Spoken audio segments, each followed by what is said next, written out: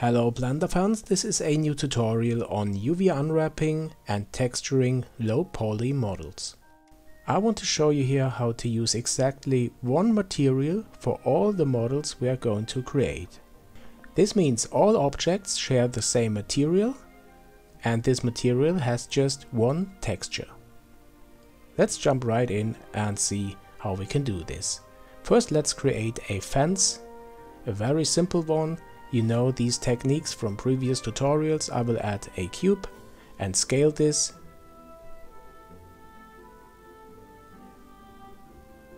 And then I switch to edit mode and add an edge loop and add some slight imperfections by moving the edge loop around. Then I duplicate this cube and change the geometry very slightly so that it doesn't look like the other one. Then the next cube and I scale it like this. And then in edit mode I switch to face selection and move the faces around till I'm happy with the shape. And again I would add an edge loop to add new imperfections. Like so. Okay and then I duplicate this. And also for this part I define a slightly different geometry.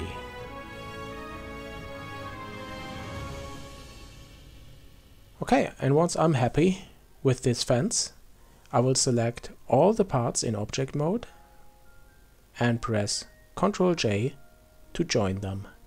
Then I select all the faces and press Ctrl N to have unified normals. Okay, now for the material. As I said, there is one material, let's call this material low poly, and this material has one texture. Now let me open up the UV image editor and the texture looks like this. Very simple, I defined these color squares and each square is 32 pixels in width and height. And now comes the cool trick for texturing low poly models. Select all the faces, press U, unwrap. Okay, now we have this simple unwrapping here in which every UV island has the same size and position. Now I scale this down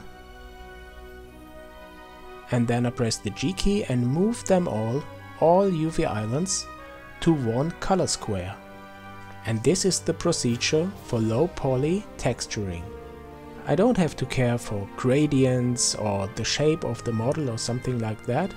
All the UV islands have the same size and position and can be moved to a special location in our color map. And if you like, you can now select the end of these blanks, of these wood blanks, in face selection mode. And now you press the G key in the UV image editor and move just these faces that you selected to a slightly lighter color. And that's it. Your model is textured. You can duplicate this now by pressing Shift D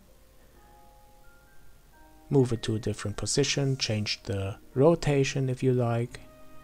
And to add some variations, you can switch to edit mode and add some changes to the geometry of this duplicated model.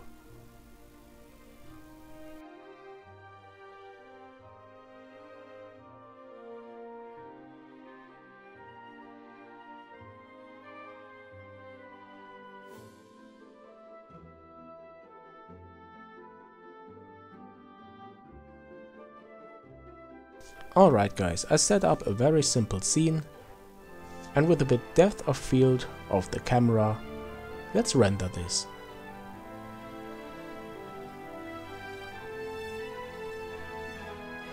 Yeah, it comes out very nice.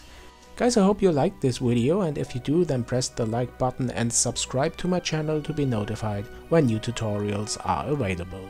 For my supporters on Patreon I uploaded this project with all the models that you can see here. Thanks a lot for your support, thanks a lot for watching and see you soon on Jayanam.